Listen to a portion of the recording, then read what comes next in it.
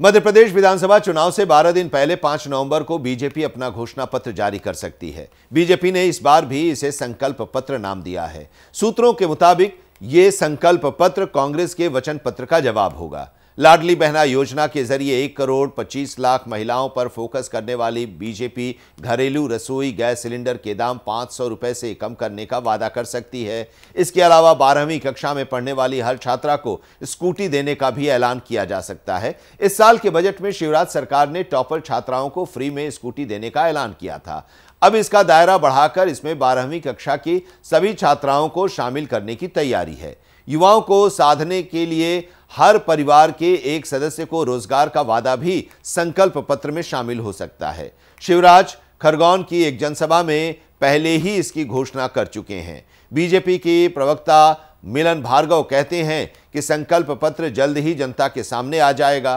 इसमें किसान, युवा और आदिवासी वर्गों के लिए भी कई लुभावने वादे किए जा सकते हैं। गेहूँ का समर्थन मूल्य बढ़ाने की घोषणा हो सकती है। अभी गेहूँ का समर्थन मूल्य दो रुपए है और इसे ढाई हज़ार रुपए तक किया जा सकता है। इसके अलावा खेतों में सिंचाई के लिए स्थायी कनेक्शन देने की घोषणा भी हो सकती है। आदिवासी वर्ग को लुभाने के लिए बीजेपी हर साल आदिवासी खेल महोत्सव का ऐलान कर सकती है। महोत्सव का आयोजन सरकारी खर्च पर होगा और इसमें उन्हीं खेलों को शामिल किया जाएगा जो आदिवासी इलाकों में लोकप्रिय हैं।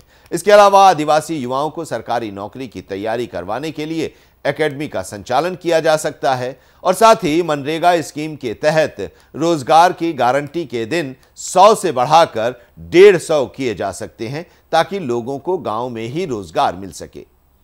कांग्रेस चुनाव से एक महीना पहले 17 अक्टूबर को अपना वचन पत्र जारी कर चुकी है। बीजेपी इतनी देरी से घोषणा पत्र क्यों ला रही है? सूत्रों का कहना है कि ऐसा जानबूझकर किया जा रहा है ताकि लोक लुभावन घोषणाएँ वोटिंग की तारीख तक लोगों के दिमाग में रहे। बीजेपी से जुड़े सूत्रों का कहना है कि यह सब कुछ एक रणनीति के तहत किया जा रहा है। कांग्रेस के वचन पत्र की बातों को लोग भूल चुके हैं। मध्य प्रदेश में 17 नवंबर को वोटिंग है, इस लिहाज से बीजेपी के पास संकल्प पत्र के प्रचार के लिए 10 दिन होंगे। बीजेपी इन 10 दिनों में अपने सभी स्टार प्रचारकों से कहेगी कि वो इसके वादों का जमकर प्रचार करें। इसके साथ ही लोग याद रख सकें कि सरकार बनने पर उन्हें क्या लाभ मिल सकता है। बीजेपी अपने संकल्प पत्र में जिन बिंदुओं को शामिल कर सकती है कमोबेश वैसे ही बिंदु कांग्रेस अपने वचन पत्र में शामिल कर चुकी है। घोषणा पत्र किसी भी राजनीतिक दल का लिखित दस्तावेज़ होता है। घोषणा पत्र के ज़रिए राजनीतिक दल बताते हैं कि उनकी सरकार बनती है तो जनता के लिए कौन सी योजनाएँ और नीतियाँ लागू करेंगे?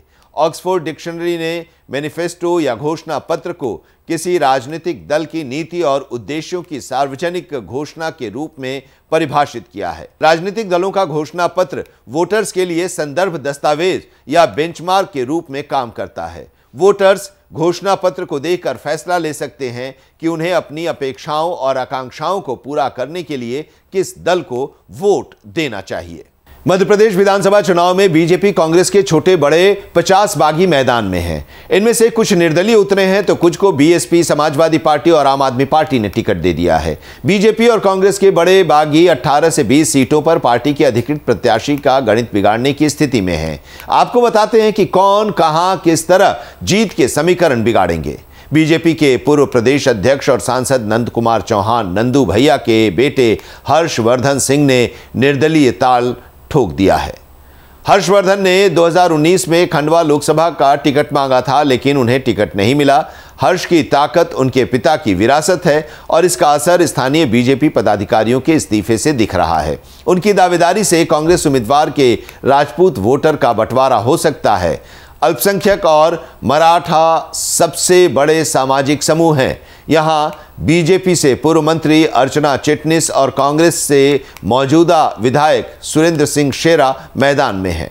सीधी पेशाब कांड की आँच विधायक केदारनाथ शुक्ला पर भी आई थी। आरोपी उनका समर्थक था। बीजेपी ने उनका टिकट काट दिया। नाराज़ शुक्ला निर्दलीय लड़ रहे हैं। आरोपी के घर बुलडोजर चलाने से ब्राह्मण समाज ने नाराज़गी जताई थी। यहाँ ब्राह्मण वोटर निर्णायक हैं। इसे देखते हुए बीजेपी ने सांसद रीति पाठक को उतारा, लेकिन ब्राह्मण और वैश्य समुदाय का बड़ा वर्ग अब भी केदारनाथ शुक्ला के साथ है। इसकी वजह से यहाँ कांटे का मुकाबला है। बड़वारा में पूर्व मंत्री मोतीलाल कश्यप की बगावत से बीजेपी के समीकरण बिगड़ गए हैं। यहाँ मांझी समाज के 30 से पैंतीस हज़ार वोटर निर्णय को प्रभावित करने की क्षमता रखते हैं। कश्यप मांझी समाज के बड़े नेताओं में शामिल हैं। 2018 के चुनाव में वे कांग्रेस के विजय राघवेंद्र सिंह से हार गए थे। कांग्रेस ने इस बार भी विजय राघवेंद्र सिंह पर दाव लगाया है। बीजेपी ने धीरेन्द्र सिंह को अपना उम्मीदवार बनाया है। कश्यप की बगावत का असर आसपास की सीटों पर भी पड़ सकता है। मुरैना सीट पर गुर्जर उम्मीदवारों की भिड़ंत है।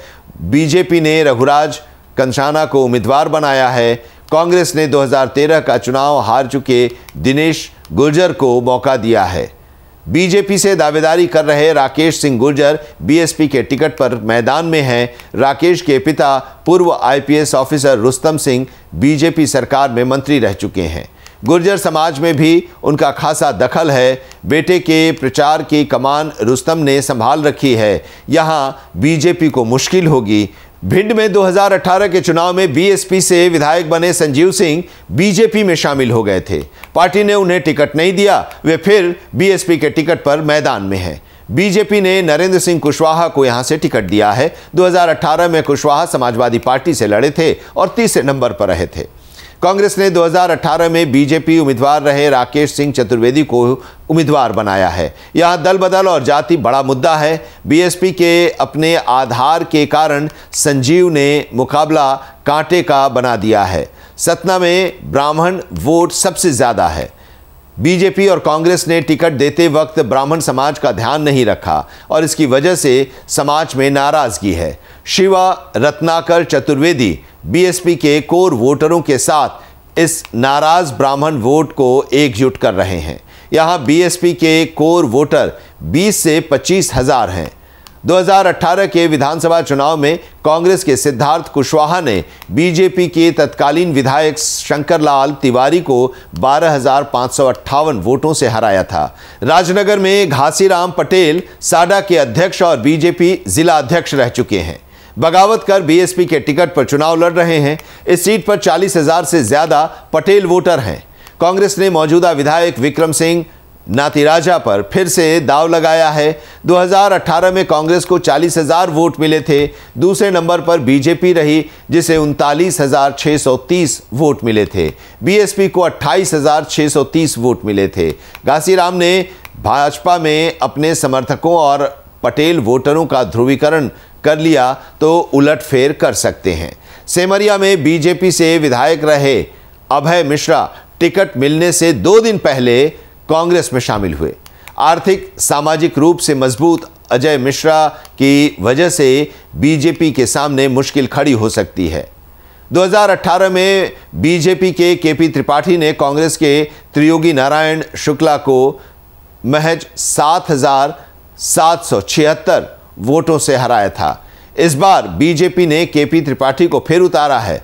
2013 में यहाँ से अभय मिश्रा की पत्नी नीलम मिश्रा भी बीजेपी से विधायक रह चुकी हैं। अब बात कांग्रेस की बागियों की करते हैं। नागौद सीट पर राजपूत नेता ही प्रभावी रहे हैं।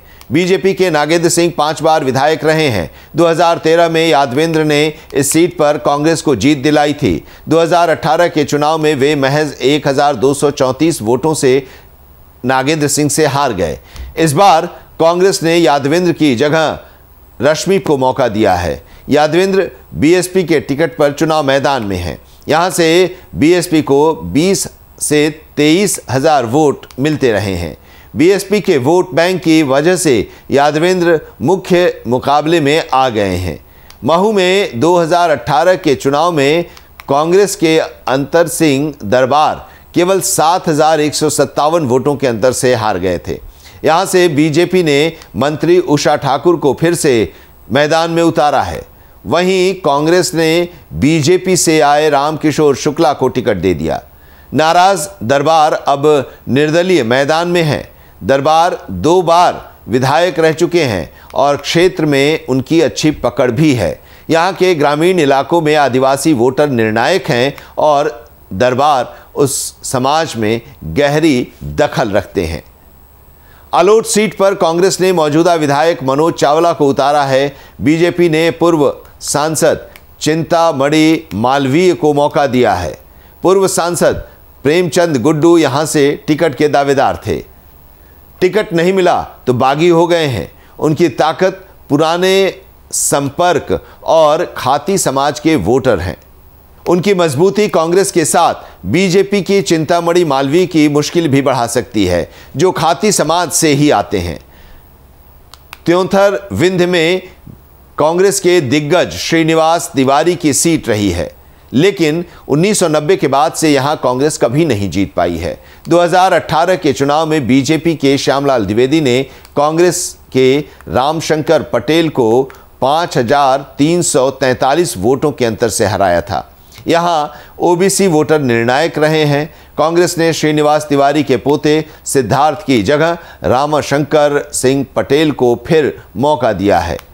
बीजेपी ने मौजूदा विधायक का टिकट काटकर सिद्धार्थ तिवारी को चुनाव मैदान में उतारा है। इसने मुकाबला कड़ा बना दिया है।